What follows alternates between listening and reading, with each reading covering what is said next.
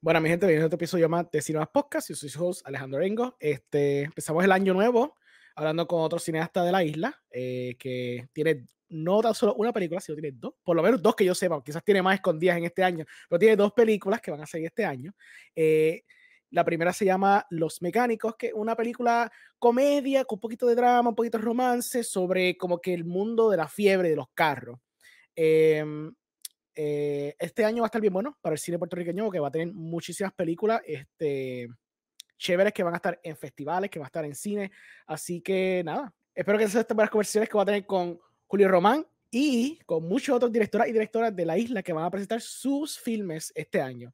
Sin más preámbulos, les presento a Julio Román.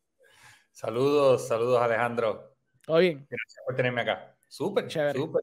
Muy bien, muy bien. Chévere. Pues mira, tienes una película ahí que se llama Los Mecánicos, pero antes que entremos en Los Mecánicos, eh, háblame de, de, qué tú eres, qué tú haces, qué, qué, qué tú haces, cómo te metiste a este mundo del cine. pues mira, yo entré, no, dependiendo dónde empecemos a contar la historia, entré al mundo del cine, si fue cuando era niño y en mi barrio fueron a proyectar unas películas y jugando karate tumbé el proyector y lo rompí. Eso puede ser, te puede contar un poco. Eso está chévere. O, o en, en la, ya en mi adolescencia, recuerdo que estaba en un salón y una, una, compañera de clase estaba escribiendo algo y yo le pregunté, ¿qué tú estás escribiendo? Y ella me dijo, una película. Y yo no, yo no sabía que las películas se escribían, así que me fui para, para mi casa. Yo vivo, viví en ese momento en el barrio Arenas, allá en Bayamón, y me puse a escribir una película.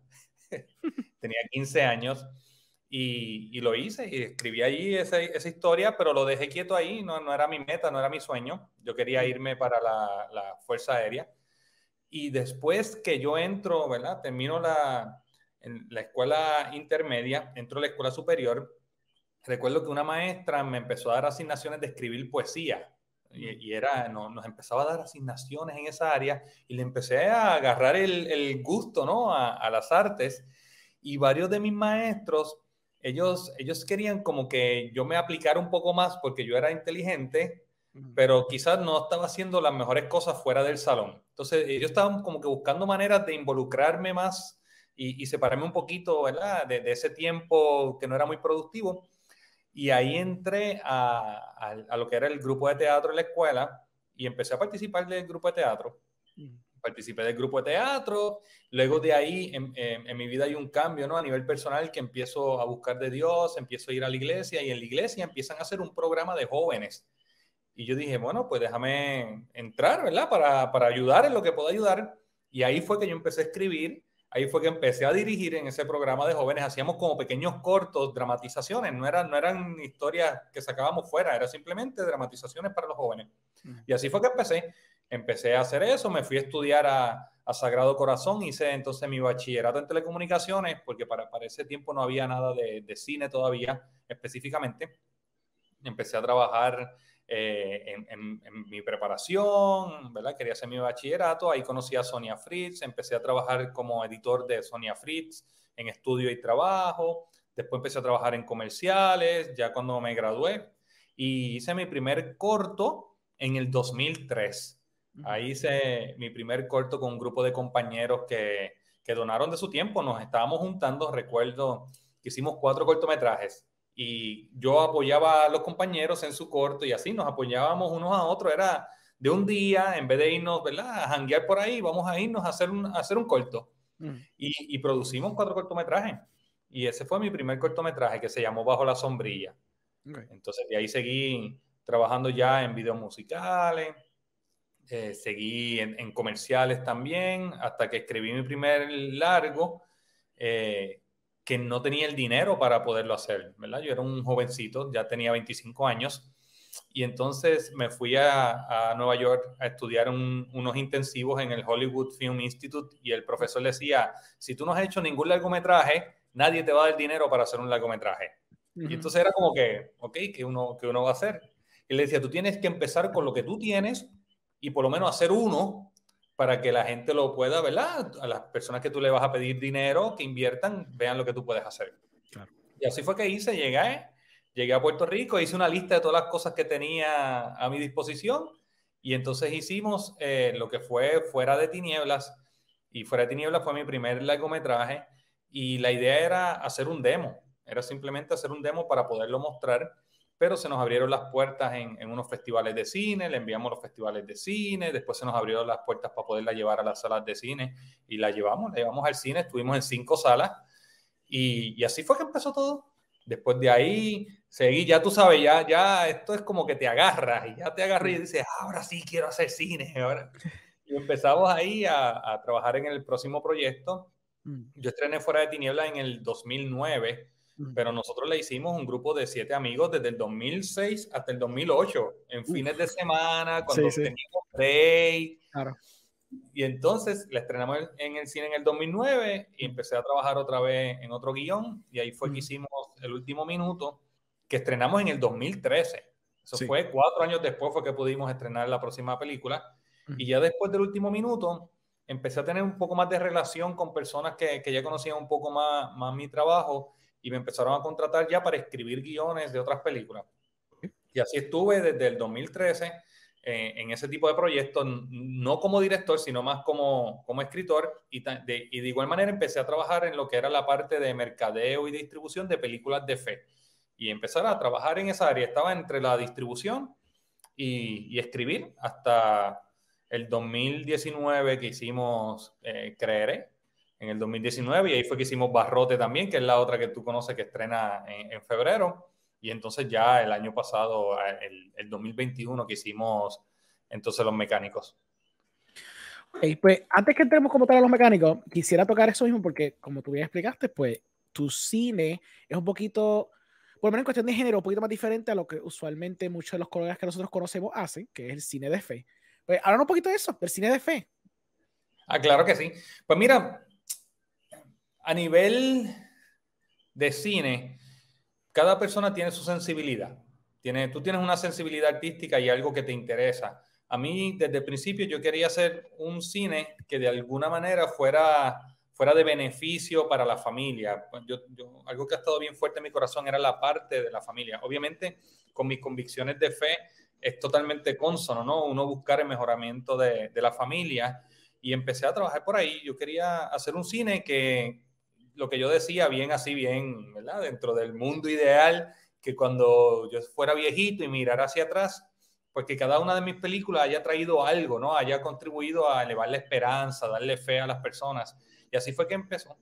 Y obviamente como ya yo estaba trabajando eh, en lo que eran los videos de la iglesia y trabajaba en proyectos más dentro del área de fe, pues eh, se me hizo natural en ese sentido de, de poder trabajar ese tipo de proyectos tanto lo que eran los proyectos de fe o los proyectos familiares que quizás no eran explícitamente bíblicos, pero traían principios para la familia y demás. Y me, me, es el espacio donde me siento cómodo, que me puedo expresar libremente tanto lo que pienso, lo que creo, artísticamente como cineasta, qué cosas puedo traer a la mesa.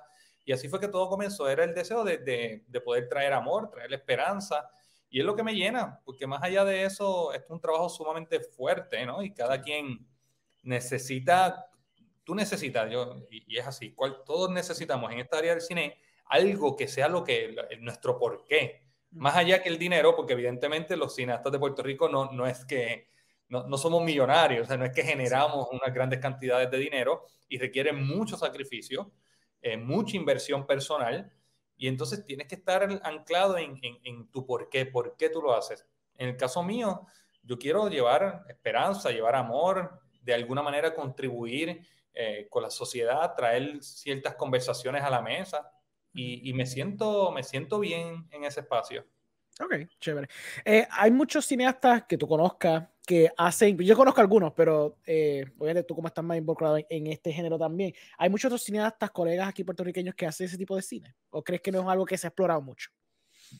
Sí, hay, muchos que desean y hay muchos que lo, que han, lo han hecho, o sea, no, no, no, no, ha sido consistente, si podemos llamarlo así, pero han hecho muchos esfuerzos y hay muchos jóvenes que lo hacen, lo ven mucho al espacio o, o en el, al nivel de cortometrajes sí. y también han salido eh, largometrajes, pero sí lo están haciendo. Obviamente tú tienes ciertas limitaciones, ¿no? Que es quizás donde uno tiene que empezar a navegar y es el hecho de que el cine es, es sumamente costoso.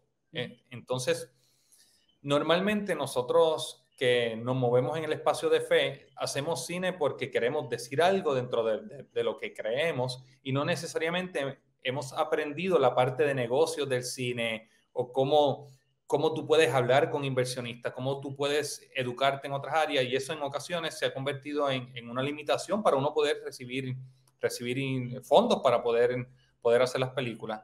Y eso fue algo que yo lo descubrí desde mi primera película eh, que me senté con un inversionista que me, me, consiguieron la reunión y él me empezó a hacer preguntas y yo no sabía nada de lo que me estaba preguntando. Y, y para mí, yo salí de esa reunión y yo dije, yo, yo tengo que aprender de esto, yo tengo que poder hablar con estas personas de tú a tú, entender. Y, y así fue que lo hice. Pero sí, sí, muchas personas que tienen el deseo y que están haciendo muy buenos proyectos. El punto es cómo los puedes seguir llevando, cómo puedes seguir elevando y creando una, más, una mayor eh, consistencia en los proyectos que se hacen. Pues vamos entonces a empezar a hablar de los mecánicos. ¿Cómo surgió la idea? Pues mira, la idea de los mecánicos surge de Osvaldo Friger, él es el actor principal de la película. Él llevaba desde el 2012 que, que quería hacer una película porque él era un host en un programa de, de carro, racing, pero él era un actor, él no sabía de carro en aquella época. Y él me contaba, oye, la gente venía donde a mí me preguntaba de carro como si fuera un mecánico. Y entonces él llevaba tiempo con hacer esa película y nosotros estábamos trabajando en Barrote. Recuerdo que estábamos en, en el set de Barrote y Frigel me dice, Julio, tengo un guion que me gustaría que tú lo leas y que me des tu opinión. Y yo, no, pues está bien, yo le, dale, yo lo leo y, te doy mi opinión. Y leí el guion y le di mi opinión muy honesta de, de como yo lo pensaba, eh, de, de, lo que estaba escrito. Y él me dice, yo quiero que tú la dirijas. Y yo le dije, Osvaldo, lo que pasa es que yo no, yo no dirijo este tipo de película. Era una película, era una comedia que no, no, no, no había problema, pero era solamente eso, una comedia. Yo le dije, mira, para yo dirigir este tipo de películas, yo tengo que poder reescribir el guion completo a, a lo que yo quiero decir, a lo que yo me conecto, poderle dar un corazón con los temas que me interesan tocar, como, como es el legado, como es el honor. Y me dijo, no, tú haz lo que tú quieras con el guion, tú trabajalo. Y así fue, lo, lo reescribí y la íbamos a hacer nosotros, ¿sabes? Guerrilla, íbamos a buscar la manera de nosotros hacer la guerrilla y gracias a Dios tuvimos el, el apoyo de la Comisión de Cine eh, con los incentivos, los créditos contributivos y unos inversionistas nos, nos apoyaron y, y, así fue que logramos hacerla. Pero surgió totalmente de él, de, de, de sus experiencias como, como anfitrión de ese programa. Ok, eso tuvieron un aspecto colaborativo, lo que eso es interesante, porque entonces, aunque escribiste el guion, asumo que hay ciertos elementos que quizás quedaron intactos de lo que él originalmente te, te, te pichó, ¿verdad? Claro, la historia. La, la historia, lo, lo, que ocurre es que en el guion de, que ellos tenían, eh, la historia ahora mismo es esta joven que recibe un taller de mecánica, ¿verdad? Eh, que está a punto de, de, irse a la quiebra y es el legado que le dejó su papá y ella para honrar el legado de su papá contrata estos actores, ¿no? Y, y, estos actores, ella cree que son mecánicos, pero no son mecánicos, ellos están actuando como que son mecánicos. Mm. El guion original está enfocado en ellos, está enfocado en los, en los actores y era un poquito el vibe de la comedia, carros y comedia. Y entonces eso se mantuvo, si tú lo ves en la película, eso está, está siguen siendo estos tres eh, eh, actores que no saben nada de mecánica y lo están haciendo, y eso viene de ese guion, esa, esa parte. Entonces yo me fui por el otro ángulo que era el de ella, ¿no? el de esta joven que quería honrar el legado de su papá y, y enfoqué la historia más desde el punto de vista de ella. Ok, pues ¿cómo fue trabajar con ah, comediantes? Porque realmente tenías tres, tres, los tres leads, este, que son los, los, tres mecánicos, son como básicamente los tres chiflados, son tres comediantes. ¿Hay algún aspecto de la película donde tiene improvisación o es bastante guiado por el guion? ¿Hay una mezcla de ambos elementos? ¿Cómo fue eso? Mira, hay una mezcla de ambos elementos porque cuando tú tienes ese nivel de talento en el set, o sea, no aprovecharlo es como que le, te estás disparando en el pie. Entonces tú tienes a Juan Bota, tienes Jason Calderón, el mismo Osvaldo Friger y así otros, otros actores que estaban ahí también. Ellos sí tenían ese espacio para improvisar dentro de, lo, de los parámetros, ¿no? De lo que queríamos hacer en escena. Y más en esta película que queríamos crear una, una dinámica entre los mecánicos. Yo le llamaba, recordemos el ritmo de los mecánicos. ¿Cuál es el ritmo? Y era que este dice algo, este dice otro y cómo, cómo se van apoyando unos a otros. Y todos esos momentos que tú ves en la película que uno dice algo, el otro se apoya, el otro entra, esos son ellos. Eh, eh, surge de la línea de diálogo que va en el guion pero ellos empiezan a insertarse dentro de eso y es lo que le da la chispa a la película y es lo que le da la, la, la que muestra la química de ellos, porque tienen una química maravillosa. Y así fue, había una parte que era guion y otra parte que entonces era ellos, ellos improvisando. So, ¿qué, ¿Qué tipo de películas o directores o géneros cogiste como de inspiración para tener ese tipo de... Porque la comedia no es fácil, la comedia lo importante es el, el tempo, el beat y estar seguro que tienes el setup y el payoff. Y si el setup es feo, para alguna cosa cae, pues se escogota todo. Eso es saber cómo tú editar y maniobrar todo esto para que todo el beat sea consistente y el chiste caiga aquí. Como tú dices, el chiste caiga acá, hay un ritmo. So, ¿Qué tipo de inspiración, qué tipo de películas tú miraste para coger conceptos para elaborar la comedia en la película? Mira, para mí, eh, miré mucho a Edgar Wright Edgar Wright es un director que hace, hace muy buena comedia y hace una comedia muy visual, ¿no? Y era un poquito donde yo me sentía, me sentía más cómodo, ¿no? En ese espacio de la, de la comedia. Y recuerdo que también vi lo que era lo de, de Three Amigos, que hacemos una referencia en la película a ellos, por la dinámica entre ellos, ¿no? Y yo decía, ven, ven esto, ven, tú ves estos actores que ellos están interpretando estos tipos que también son actores y ellos logran insertarse uno de otro. Y esa dinámica eh, también fue de mucha inspiración, pero entre lo que era Edgar Wright y lo que era eh, de True Amigos, y entonces evidentemente tú hay que ver las de Fast and the Furious y demás, y esa la marqué, ¿verdad? Un poquito a nivel personal, era para, para ver qué se ha hecho y qué no se ha hecho para tratar de evitar lo que ya se ha hecho, porque tú no lo vas a hacer mejor que ellos en, en el aspecto del, del, presupuesto y demás. Entonces, algo que yo no quería era competir con algo que ya estaba hecho, sino cómo podíamos darle el sabor de los mecánicos, cómo podíamos hacer algo diferente, porque indudablemente te, te van a tratar de comparar. Eso, eso no, no, te vas a escapar de eso. Pero lo que no quiero es, yo no quiero ser ellos, yo quiero que los mecánicos tengan su propia identidad. Entonces, ahí fue que entramos con el aspecto caribeño. Recuerdo que usé, usé mucho de inspiración también la, la canción de Despacito, toda esa todo ese vibe caribeño. Y yo decía, ve, es este vibe. Es como tú, como tú manejas carros. Si tú has visto las películas de carros, generalmente son bastante oscuras, bastante serias dentro de todo. Y yo decía, no, eh, que, que, podamos darle el sabor caribeño, que es lo que podemos traer nosotros a la mesa, la cultura de Puerto Rico, la cultura de fiebre de Puerto Rico en, dentro de lo que es el deporte de la fiebre, que es diferente a lo que son las carreras clandestinas, ¿no? Lo que es el deporte es, diferente. Y entonces así fue que empezamos a, ir añadiendo, a ir dándole los sabores. Pues ya que entramos entonces en lo de que sea la cultura de la fiebre, pues hablar un poquito más de la cultura de la fiebre, si hiciste research, si algo que tú habías conocido desde antes, este, y pues cómo fue meterse en ese mundo. Mira, yo no lo conocía, yo, yo obviamente lo había visto externo, como, como lo vemos todo, ¿verdad? Que no, que no hemos entrado. Y entonces yo no lo conocía, lo, empecé a conocerlo a través de Friger, que me empezó a hablar y me empezó a hablar de que teníamos récords mundiales, teníamos récord, eh, habíamos representado en Dubai, en Australia, en Maryland, y me empezó a hablar de todos estos récords, me empezaba a enseñar videos, mira, este hizo un récord mundial ahora y muchas cosas que yo no sabía. Y entonces fui a uno de los eventos de, de, de ellos, ¿no? Y era un evento de media milla en Aguadilla. Y cuando yo voy allí, para mí fue un shock era, porque era, no era lo que yo me esperaba. Yo, yo esperaba, uno vio Fast and the Furious, uno de esas películas, y tú, uno piensa en estos muchachos, tú sabes, esto, man's man. Y de momento tú ibas allí, tú veías todo esto bien familiar, toda esta cultura bien boricua, y los, los nenes, y, los, y los que están compitiendo están con sus esposas, sus hijos, y, ellos, y es, es otra dinámica. Y ahí fue que empecé a conocer y me metí a hacer ya entonces lo que es el research para poder obviamente plasmar todo lo que, lo que queríamos plasmar de la manera más auténtica posible. Como director empezar a sentir cómo se siente. Para mí es bien importante saber cómo se siente, más allá de la parte intelectual, cómo se siente estar en una carrera, cómo se siente que, tener un Lamborghini al lado que, que, que, que truende, ¿no? Cómo, cómo, tu cuerpo físicamente reacciona a eso. Y empecé a hacer todo ese tipo de, de, de investigación viendo también reality show de carro, ver en, otras, en otros países cómo se movía en otros países y entonces alimentándome de, toda esa dinámica y de todo lo que ocurre en la cultura racing, no solo en Puerto Rico, sino fuera, porque estas personas de Puerto Rico van a esos lugares a representar.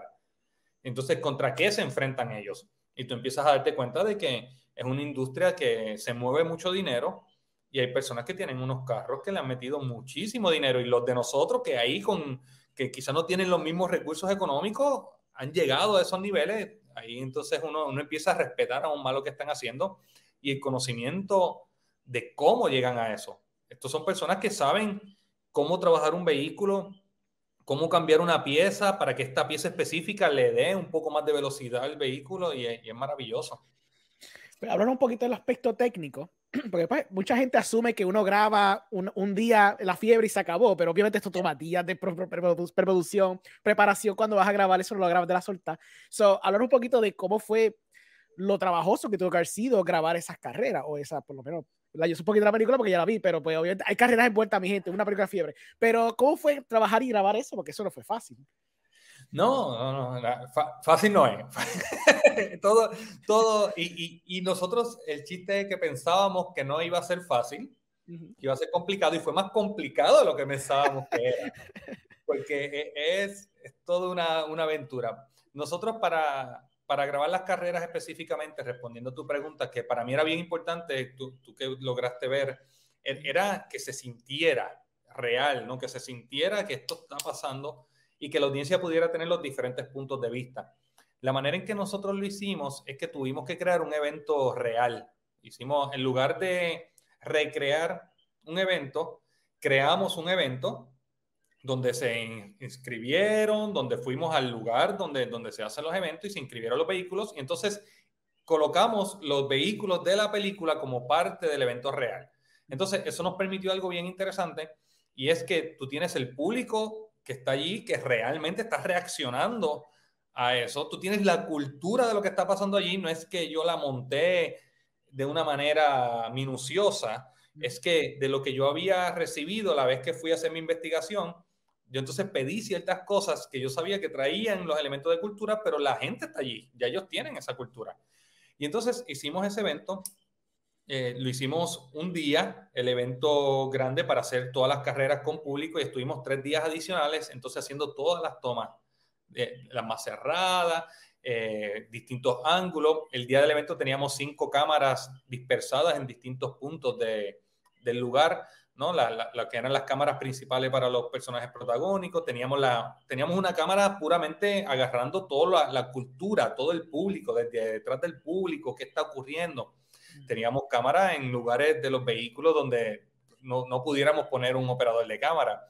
Y entonces así fue que lo logramos hacer a nivel técnico. Era, yo quería tener la mayor cantidad de ángulos posibles dentro del el diseño audiovisual que tenía para que entonces no se nos perdiera nada, no, no, no, que no pecáramos de quedarnos cortos y que tampoco, como estamos haciendo una carrera, estamos haciendo un evento, no nos envolviéramos tanto con el evento que nos olvidáramos de los personajes, porque a la hora de la verdad esto se trata de los personajes, la gente que está viviendo eso. Entonces, pues tenía una, una, unas cámaras específicas en esa área, pero en el itinerario era bien importante capturar las tomas que eran de nuestros personajes dentro de, del andamiaje, ¿no? de la grandeza de lo que está pasando. Y así fue que lo hicimos.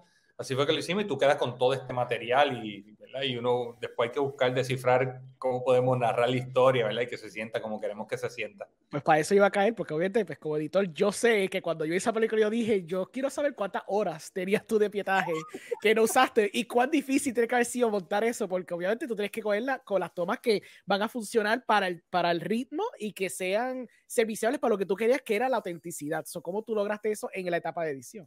Y, es sumamente complejo por, digo, y tú sabes que eres editor, no tanto por lo que pones, por lo que no pones, por lo que decidiste y cortar y sacrificar porque no podía. No podía. Esta película tiene que tener una duración, si no vamos a estar dos horas y pico ahí metido viendo carrera, ¿me entiendes? Pero el material estaba. Entonces era cómo voy seleccionando, ¿verdad? Lo que sirve mejor a la historia, como muy bien tú dices. Y, sí, es sumamente complejo sumamente complejo, pero yo prefiero eso a no tener. Y claro, esto es lo que hay. Esto es lo que hay, con esto tenemos que bregar. Pero si, si tenemos material suficiente, eso no nos ayuda. Y con todo y eso, si hay una toma que yo quería esa toma y no logramos hacerla, eso me da un dolor en el corazón porque esa toma existía por una razón. Sí. Eh, pero así es, uno, uno busca, ¿verdad? Eh, la, la, la, mejor manera de contar la historia y que la audiencia pueda tener la experiencia que tú quieres que tenga. Claro, claro. Pues entonces, ¿cómo fue? Porque después que la hicieron, pues ustedes la presentaron en el Puerto Rico Film Festival, que, by the way, felicidades también. ¿Cómo fue la recepción? ¿Cómo fue todo ese proceso entonces el festival? Mira, fue bien bueno porque nosotros no habíamos terminado la película en, ese momento cuando fuimos para el festival. Eh, no estaba terminada, no estaba terminada, no, no, no, habíamos terminado la edición, no tiene música ni sonido, pero para mí era bien importante ver cómo reaccionaba la audiencia. Y entonces tuvo una muy buena acogida. Me sorprendió grandemente los niños, la manera en que se conectaron. Era, era como que para, para los niños eso era como, como si estuvieran jugando yo, y, yo no me lo esperaba. Es una comedia bien sana. Entonces sí sabíamos que era para toda la familia, pero no sabía que los niños se iban a involucrar tanto en lo que era la historia. Al punto que después te, te empiezan a decir líneas de la película y, y los chistes de la película te los repetían. Entonces, me emocionó mucho, por otro lado, verle la pantalla grande, eh, que como fue en el festival, con el público, te permite saber y, para mí es un termómetro de qué funciona, qué puedo mejorar. Exacto. ¿Cómo se ve esto en pantalla? En pantalla grande, porque esta es una película que después del festival yo tenía aún más marcado cómo se siente en pantalla grande. Entonces, ¿cuáles son aquellas tomas que nos permiten que la audiencia se sumerja más dentro de la historia, ahora que ya la experimenté en pantalla grande. Mm. Y entonces empezamos, seguimos el proceso de edición, reeditamos ciertas cosas, fortalecimos otras cosas. Aquello que funcionó, buscamos la manera de hacerlo aún que funcionara mejor. Y, y, para mí fue maravilloso. A mí me gusta verla con la audiencia. La audiencia es tu mejor termómetro, es el mejor, es, es el público. Para ellos es que hacemos la película. Sí, a mí me gusta ese aspecto de poder tener algún tipo de feedback, porque a veces mucha gente se va en el viaje de que no, este es mi bebé, quiero cohibirlo, quiero aguantarlo hasta el momento de salir, pero a veces es importante ese feedback porque las películas uno no las hace para uno, las hace para la audiencia. So, tener, tener esa oportunidad que tú tuviste de poder presentarla en el público, que fuera un work in progress, que mucha gente no le importa esas cosas de work in progress, realmente después que esté la mayor, la, mayor hecho, la, mayor, la mayoría de la película hecha, pues se la pueden vivir y se la van a disfrutar porque realmente la gente no está muy pendiente de esas cosas. Uno, uno como cineasta, uno está es pendiente de que, ok, aquí falta el crédito, obviamente esto es work in progress, pero está bien porque estoy entendiendo la esencia de lo que el director o directora está tratando de lograr. Este, so que siento que eso es bien importante, tener el feedback. para, sí, para mí es vital, para mí es vital y yo creo que va a ser importante, si tú deseas crecer como director, tú tienes que presentar tu proyecto a la audiencia y tú tienes que hacerlo con la humildad que requiere de entender, ok, esto no funcionó, esto sí funcionó, y ese conocimiento que adquieres, aplicarlo en el próximo proyecto. O si fue en este caso, como fue un work in progress, nos permite revisitar ciertos momentos.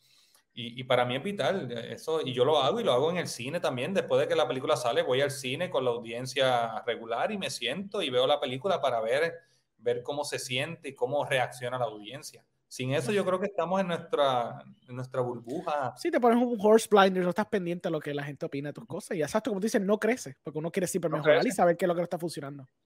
pues, vamos a poner la pregunta un poquito más broader, vamos a expandirnos un poquito más. ¿Cómo tú piensas que está el estado de la industria del cine puertorriqueño? Ok, ahora mismo tenemos todo este montón de películas que no, no se han podido estrenar en la pandemia. Entonces las vamos a ver ahora en el 2023 y eso es muy bueno porque vamos y a vimos algunas también en el 2022. El año pasado vimos varias. Correcto. correcto. Se empezó a mover, se empezó a mover eh, ya lo que estaba ocurriendo. Ahora nosotros necesitamos algo. Nosotros, es bien importante que la audiencia regrese al cine. Y te lo digo porque después de la pandemia el cine todavía no, no se ha recuperado. Las personas piensan que ya el cine se recuperó, pero el cine no se ha recuperado todavía. Está, está en ese proceso. Entonces, yo creo que ese es un aspecto. Mientras más personas vayan al cine a ver las películas, mejor, ¿verdad? Más, más, mejor nos va a ir a nosotros y vamos a poder seguir haciendo películas. Por otro lado, ahora mismo necesitamos que se apruebe la ley, que digo, la ley está aprobada, que el gobernador firme la nueva ley que permite que los créditos contributivos, el CAP, se, expanda, ¿no? Que lleguemos, que, es lo que se propuso y se aprobó, los 100 millones de dólares, y que se empiece a enfocar más hacia el cine puertorriqueño esas partidas para que las películas de Hollywood que vienen, que queremos que vengan y le den trabajo a los compañeros, que ellos puedan venir y hacer su trabajo, pero que nosotros también tengamos nuestro, nuestro espacio para hacer nuestro trabajo. Y algo bien interesante que estoy viendo es que hay muchas voces diferentes en el cine. Y eso sí me emociona mucho. Me emociona mucho porque ves distinto tipo de cine puertorriqueño, no, no es un estilo, no es un, una sola voz. Y yo creo que eso es bien importante porque independientemente tú hagas cine más dirigido familiar o de fe, como en mi caso, yo soy una voz, pero hay, hay otras personas que hacen otro tipo de cine, que necesitamos todas las voces para desarrollar la industria y nosotros poder expresar lo que es la realidad de nuestra cultura puertorriqueña, lo que es la realidad de, quienes somos como puertorriqueños y, y, el tipo de, de, arte que se hace en la isla. Así que yo estoy, yo estoy bien optimista con la parte creativa y artística. Desde la parte gubernamental, siento que eso es lo que necesitamos, que se siga abriendo, abriendo más incentivo y que no se vea como únicamente un esfuerzo económico, que sabemos que el cine sí es una industria, sí es un negocio, pero que se vea como el aspecto cultural que es para que hayan otro, otro tipo de incentivo que permita que eso ocurra y que las películas puedan ser rentables. Sí, sí. No, y, el 2022 tiene razón, la, la, gente piensa que el cine está bien, pero todavía no estamos ahí. O sea, hay, hay ciertas películas que sí demuestran que el cine está vivo, ¿verdad? La mayoría son películas de Disney, pero... Exacto, son los blockbusters realmente lo que se han podido aguantar durante el post pandemia que estamos diciendo. Pero por lo menos he dicho, he, visto que películas como Picando Adelante, la, la de San Juan, esas sí han por lo menos han estado bastante tiempo en el cine, han durado, han, han sido éxitos relativamente taquilleros para lo que son películas puertorriqueñas. Y me gusta lo que tú mencionas de que lo que hemos visto más el año pasado y va a haber este año también es las diversas voces. Eh, tenemos nuestras comedias, tenemos nuestros dramas de festivales, tenemos nuestras películas mías romanticonas, tenemos nuestras películas de fe, tenemos un montón de cine bien diferente, variado, que ayuda a que entonces enseñar puertorriqueño que no todo tiene que ser del extranjero, ya sea internacional, sea del gringo, whatever. Hay también cine de nosotros que puede apelar a la sensibilidad de cada uno. O quizá alguien diga, mira, yo quiero ver algo light, pues ahí está, los mecánicos, pero lo chévere es que tú le traes un mensaje por el lado. Ah, quiero reírme un rato, pues tienes películas de Transfer, por ejemplo. ¿Quieres ver algo más festival? Pues tiene algo como la Juliana Maite, Fine Arts, y Fine Arts y un montón de películas puertorriqueñas que ponen cada cierto tiempo. Um, eso está chévere, ¿verdad? Yo, yo también estoy contigo que obviamente el programa grande aquí es realmente los créditos contributivos porque históricamente se ha sabido que son, eh, son bien limitados, son bien difíciles de adquirir, muy poca gente tiene acceso a ellas y realmente, aun cuando las, las tienen, no es tanto el incentivo en comparación con las producciones extranjeras que vienen hacia Puerto Rico, hacia las producciones de aquí. Eh, lo cual, pues, hopefully eso cambie. Lo, lo, lo, que pasa es que tú, tú necesitas ese tipo de, de, incentivo porque el mercado de Puerto Rico es muy pequeño. Entonces, el, el, no, no, te aguanta, no te sostiene el costo de producción de una película. Entonces, por otro lado, tenemos que seguir buscando maneras de exportar nuestro cine y que sea rentable en ese proceso de exportación, porque lo que está ocurriendo en el cine o el comportamiento del cine en la parte de exhibición no es únicamente de Puerto Rico, es algo que, que está ocurriendo a nivel global. Entonces, no, no tiene el mismo desempeño en México, en Argentina, en Colombia pero cómo nosotros podemos hacer nuestro cine y buscar maneras de poderlo exportar y que en efecto generen unos ingresos que permitan la recuperación de la inversión, porque si no recuperamos la, la inversión que se hizo en la película, no podemos hacer otra película. Los inversionistas no, no colocan su dinero en otra película. Entonces, ahí es que está el juego y, y obviamente la, la, una herramienta como los créditos contributivos, eso nos ayuda muchísimo a poder bajar el, el factor de riesgo de las películas, igual que los otros incentivos como cuando estuvo el fondo cinematográfico. Yo, yo nunca tuve, logré tener acceso al fondo directamente, eh, pero son el tipo de incentivos que te ayudan a por lo menos vamos a bajar el riesgo, porque el cine es una industria de alto riesgo. Sí. Entonces, hay que empezar a buscar estrategias para que sea rentable. Diste un clavo, algo bien interesante, que fue la de la cuestión de exportación, porque hablando con otros cineastas también, ellos hablaron de ese elemento de que, pues, cuando ya estamos en la etapa de either después de presentarlo en Puerto Rico o eh, después de presentarlo en festivales, pues inevitablemente cae aquí. Pero no se discute mucho de presentarse, por ejemplo, en Florida, en New York o Latinoamérica. Eh, ¿tú, ah, ¿tú, crees que eso es algo que deberíamos aspirar a hacerlo para, como tú dijiste, poder tener un return on investment? Claro, sí, no, no, yo creo que, que es algo que de, debemos de pensarlo desde el desarrollo. Uh -huh. desde, el, desde el desarrollo tenemos que empezar a pensar las posibles audiencias que podemos llegarle con nuestra película y empezar a tocar base, empezar a ver qué es lo que se está viendo, dónde que se está vendiendo, qué, cuáles son las ideas que quizás tienen más salida en distintos lugares, cómo yo cómo yo creo el lenguaje, la manera en que se habla en la película, que muestre la autenticidad del puertorriqueño y a la misma vez se pueda presentar en México. Entonces, hay que empezar a, tener una visión un poquito más global en ese sentido, pero desde antes, desde el desarrollo. Eh, en mi caso, una de las cosas que yo hago es que yo hablo con distribuidores y yo les pregunto, y si tengo tres ideas, yo les pregunto qué, ¿verdad? Tengo estas tres ideas, ¿cuál tú crees que puede funcionar mejor? Y hay veces que me dicen, mira, Julio, este tipo de películas no se está comprando, nadie está comprando estas películas, eh, ya sea en las plataformas, y me, lo dicen claramente, ya yo sé que si quiero hacer esa película, pues tengo que estar consciente en el presupuesto porque hay unos ingresos que no voy a tener. No es que no la haga, pero ya se mantiene dentro de, mi pensamiento, ok, esta película puede llegar hasta aquí. Pues entonces vamos a crear un presupuesto que sostenga esto, ¿no? Que, que pueda sostenerse con esto. Y entonces, eh, pero yo lo hago desde el desarrollo, yo pregunto. Ahora mismo yo estoy trabajando en un guion y yo lo, lo estoy trabajando en una, en, en una coproducción eh, con México y yo recibo el insumo de ellos, yo recibo el insumo de, de lo que ellos necesitan para poder distribuir la película en México, porque hay cosas que necesitan.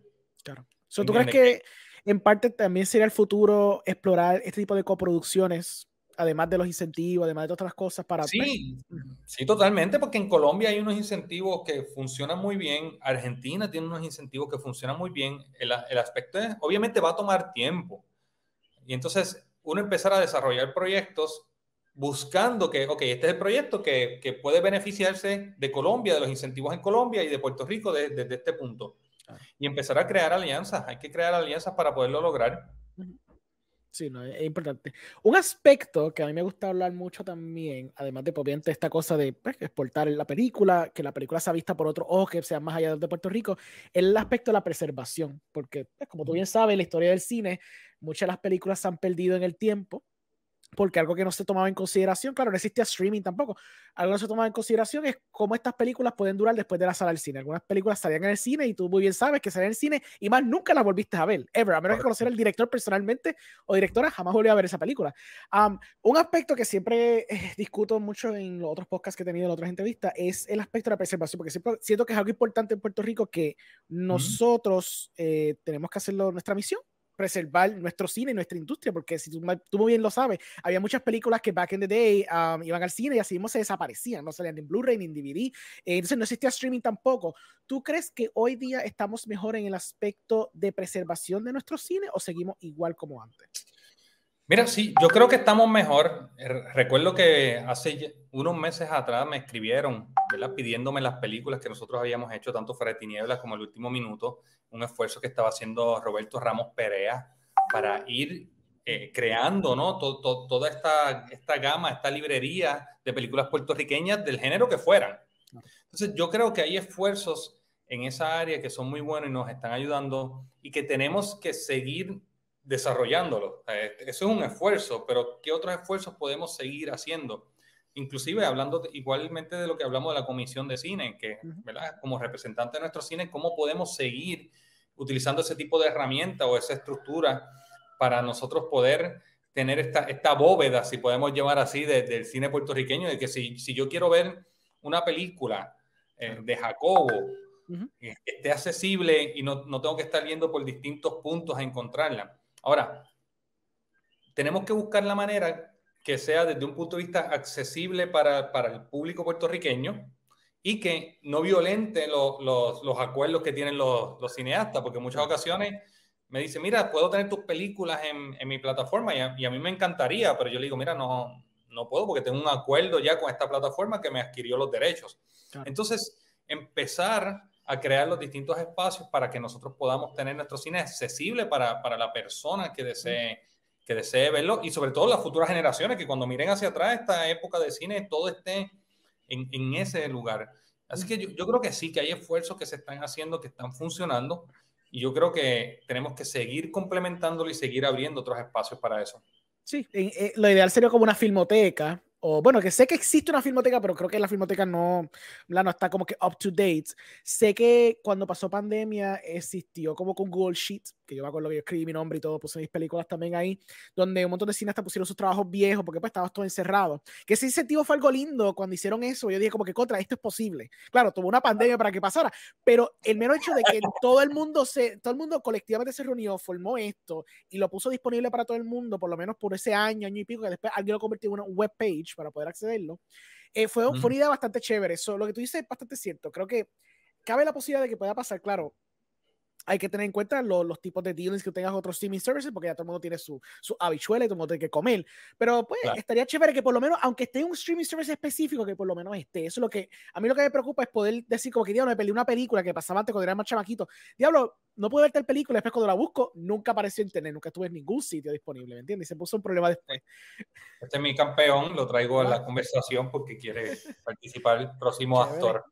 Ah, no, perfecto, muy bien, chévere. Pues mira, ¿cómo, hablando entonces, ya que tu película, tuviste una película del 2008, 2007 fue, ¿verdad? Este, 2009 estrenamos en el cine, filmamos 2006. Excelente, pues esa película, ¿cómo? Ok, So, tú estuviste en, en Caribbean Cinemas como por en cinco salas diferentes, ¿verdad? Eso es lo que tú dijiste. En cinco salas, correcto. Ok. So, ¿Cómo fue más o menos bregar con Caribbean Cinemas antes y los dealings? Porque a mi entender los dealings han cambiado, donde antes era de una forma, ahora, ¿verdad? 2022 es diferente cómo ellos presentan las películas de aquí. Háblanos un poquito de eso. Pues mira, lo, lo, hay, que, hay, que, entender algo. Caribbean Cinema es una empresa que se dedica a presentar películas. Entonces, Caribbean Cinema a través de los años ha sido bastante consistente en algo. Siempre le han abierto la puerta al cine puertorriqueño. No es como que porque tú seas una película puertorriqueña te van a dar preferencia, pero tampoco es que porque tú seas una película puertorriqueña te van a excluir. Entonces es, tu película tiene que tener el mérito, tiene que tener el mérito de calidad y tiene que tener el mérito de que el público la quiera ver. Si es una película puertorriqueña y la gente va al cine a verla, ellos la dejan en cartelera. Y así ha ocurrido desde el 2005, ¿verdad? Que yo he trabajado. La diferencia quizás ha sido que yo he tenido un poco más de experiencia en llevar películas al cine. Hay películas que les ha ido mucho mejor, hay películas que no. Y entonces esa experiencia va creándote una relación que ayuda también en el proceso de que ya ellos conocen el tipo de cine que trabajamos, el tipo de películas que traemos. Y ellos lo que les interesa es seguir moviendo la, la, la industria, ¿no? Todos, todos nos beneficiamos si la industria crece pero hay que entender que es un negocio. Y ellos van a generar, ellos porque nuestra película sea puertorriqueña, no van a querer, ah, sí, la voy a poner solamente porque es puertorriqueña, aunque no tenga los estándares. No, no, no ocurre así. No ocurre así. Y antes yo pensaba, cuando yo empecé, yo pensaba que sí, yo pensaba que era no, es que, ah, es que porque la película es de fe o no. Y a la hora de la verdad es un aspecto numérico, es cuánto tu película hizo en box office. Y si la semana que viene vienen tres películas que van a estrenar, pues las tres películas que menos hicieron en box office en una sala específica, pues son las que se van. Ah, sí. Entonces, ese, ese, eh, sigue siendo un, un, negocio, ¿no? Entonces, si uno lo entiende, uno puede entonces moverse en ese espacio más cómodamente y, y, y, no tomarlo personal de que si apoya o no apoya, porque yo te digo honestamente, yo no he sentido un rechazo yo presento, si el proyecto no tiene la capacidad y no se desempeña, ellos no, no es porque yo soy lindo que van a dejarla si no se desempeñó bien. ¿no? Pues, te dice, mira, Julio, no, tengo que, no, tengo que sacarla. Porque la sala le cuesta dinero a ellos también. Claro. Pues vamos para terminar, ¿verdad? Este, ya que estamos casi terminando el podcast. Eh, cuéntame de tus top 3 de 2022. Vamos a tirarnos ahí. ¿Qué tres, ¿Qué tres películas te impactaron en el 2022? ¿Qué tres películas me impactaron en el, en el 2022? Bueno, definitivamente Picando Adelante. Picando, adelante, picando adelante, disculpen, voy a darle un poquito para atrás. Sí, sí, dale. Tres películas que me impactaron. Me, Picando Adelante. Eh, me, me, atrapó mucho. San Juan mucho más allá de la muralla. Esto, lo que ellos lograron hacer. Y yo creo que lo otro que me fui, me, me, fui en una serie, ¿verdad? Voy a tener que traerte una, una serie porque ha sido la que, me, la, la, que me ha agarrado en este tiempo. Y es una serie que se llama The Chosen, que ellos tomaron la historia de Jesús, pero no se fueron a la historia típica de Jesús, sino que se fueron al primer siglo en Israel. Y es súper realista de lo que estaba ocurriendo. Entonces, así de lo, lo primero que llega a mi mente han sido esos, esos tres proyectos. Y si tuvieras que elegir la película de ganar los Oscar este año, ¿cuál va a ser?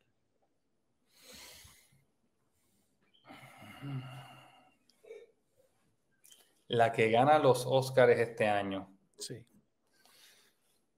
Todavía, no hay nominaciones, mi gente, por si acaso. Yo estoy aquí fully especulando, solamente por poner a Julio en the spot. Sí, no, no, me, me estás poniendo en el spot porque estoy tratando de pensar, yo, yo me quedo. Y siempre está el asunto de, ok, ¿cuál gana? ¿Cuál, cuál te gustó más? Ah, viste, por eso, ya. Entonces, no sé.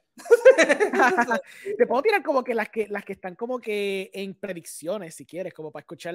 ¿Te puedo, ¿Cuál te la No, no, no, te voy a decir las que, las que, ¿verdad? Este, este, mucho más profesional que yo pone como que en las potencialmente las que pueden estar nominadas. Te los va a tirar, te los va a tirar rapidito. So, aquí pusieron, esto no soy yo, eh, pusieron no eres tú, no eres tú, no es que te gusta. Exacto, Talk on Maverick, pusieron The Fablemans, que es la de Spielberg, pusieron The Banshees of Inisherin, pusieron Everything Everywhere All at Once, pusieron Tar, pusieron Elvis, Avatar, Woman Talking, Black Panther, Black Panther Wakanda Forever y All Quiet on the Western Front, que es una película eh, alemana que está en Netflix. Basada en esa. Yo, yo, yo te tendría que decir sí. que para mí The Fableman. Ok. Y, eh, y yo creo que logró ¿verdad? En mi experiencia o la, la, experiencia que tuve, logró sumergirme en la magia del cine. Uh -huh. y, yo, y yo creo que nos atrapó por ahí. Yo creo sí, que nos atrapó por ahí. Sí, por ahí a yo me, me voy. A mí me encantó el final. El final está chévere. A mí me encanta el final. Spoilers por el final. La, el hecho que sale John, este, John Ford Así, y David Lynch haciendo John Ford. David, David Lynch. El, David, Lynch haciendo no, John Ford me encantó. Esos últimos cinco minutos me encantaron. Como acabó esa película, sí. me encantó. Fue excelente. No, y, y, y, tú tienes otro aspecto que, por lo menos para mí, que uno conoce esa, esa mega anécdota de Spielberg uh -huh. y de momento tú la ves en pantalla sí. y ya desde que dicen quiero que conozcas a, a este director, ya uno dice no, van a, hacer la escena. -huh. Entonces me, me, a mí me atrapó. Sí, sí. A mí me, me, me, atrapó en esa línea. So, ¿A ti te gustan películas como, como Cine Paradiso, películas como sí. Hugo, películas que, que, como que siempre son una oda a lo que sería el cine como tal? Yo creo que sí, quizá por eso Barrote eh, era mi, mi, mi corazón hacia el cine, de yo poder mm. decir lo que siento con relación al cine. Esto, pero sí, a mí me encanta. Todas las que mencionaste, para mí me encanta ver el cine, ver la, la, el, el, sacrificio. Mm. Aunque tienes a Elvis por ahí también, que mencionaste, sí, sí. que fue otra, eh, eh, es otra, a mí me gustó mucho más, más por el ritmo, ¿no? La manera en que, bueno, tú eres editor, la manera en, sí, la manera en que manejaron dentro de la edición, uh -huh. eh, lo, lo, lo, desde lo vivo hasta lo decaído. Pero a mí, me a mí Cinema Paradiso yo la veo y cada vez que la veo mi corazón se rompe en mil pedazos, igual cuando, cuando está ese montaje de los besos. Uh -huh. Entonces, sí, siempre Ore, fíjate, no lo había pensado. No lo había pensado hasta ahora que tú lo mencionas. Mm. Sí, Hugo para mí es, es maravillosa. Sí, sí. Y, y, y, sí, Barrote fue mi esfuerzo en, en esta etapa de, del cine guerrilla. Sí. Porque de cómo estos presos, ¿verdad? Hacen esas películas con los recursos que tienen en la cárcel y era un poquito mi, mi, mi, mi corazón hacia lo que ha sido nuestra carrera. Hasta, hasta ese momento había sido nuestra carrera que era full guerrilla. Y esa ah. era nuestra primera película que no era guerrilla. Uh -huh. Esto, pero sí, sí, me encantan. Todas las películas que tienen que ver con el cine, a mí me encantan. Chévere, chévere. Pues nada, este, mi gente, eh, vayan a ver Los Mecánicos que sale cuándo? El 19 de enero. Excelente, muy bien, sí. Solamente en cines. Excelente, so, espero que no hayan visto el podcast primero porque pues, no hay muchos spoilers aquí, pero realmente espero que vean la primera película primero y después vean el conversatorio que tuve, que tuve con Julio Roman. Sí. Eh, nada, te agradezco mucho que hayas participado, que hayas este, dispuesto a ¿verdad? la entrevista, a hablar de cine un rato. Eh, obviamente, cuando saques Barrote Films, obviamente te voy a entrevistar otra vez. So, vamos a seguir hablando de más cine. Así que te voy a poner el spot con preguntas de, de, de, cine. Así que prepárate, porque te voy a preguntar de películas y cosas la próxima vez. Sí, sí, voy, voy, voy, a hacer la lista de las que vi el año pasado para que no se me olviden y no se me vayan a la mente. Yo me quedo. ¿Cuál yo vi el año pasado? Exacto, tienes un, tienes un mes, ¿verdad? Porque sale como que en febrero, era la, peli, la otra película. Sale, sale, sale en febrero 23, Perfecto. sale en febrero 23, así que tengo que recordar. Voy a, voy a hacer, voy a, lo que voy a hacer es que voy a tener una listita para ti. Es decir, Chévere. esta es la lista de Alejandro. Exacto, muy bien. Chévere. Pues nada, este, ¿dónde la gente te puede conseguir? ¿Dónde la gente puede conseguir información sobre los mecánicos? Mira, pueden seguir en redes sociales, ahí Julito Román en Facebook y en Instagram. Y en Instagram pueden entrar a las plataformas de los mecánicos Movie o nuestra página también ahí de Prophesy Productions en Facebook. Chévere. Pues a mí, mi gente, puedes conseguir Cinemas Podcast, cinemaspodcast.com. Estoy Spotify, YouTube, Facebook, Instagram, Twitter, este, todos lados. Um, ya, yeah. so nada, este, vayan a ver la película y nada, nos vemos en la próxima. Bye bye.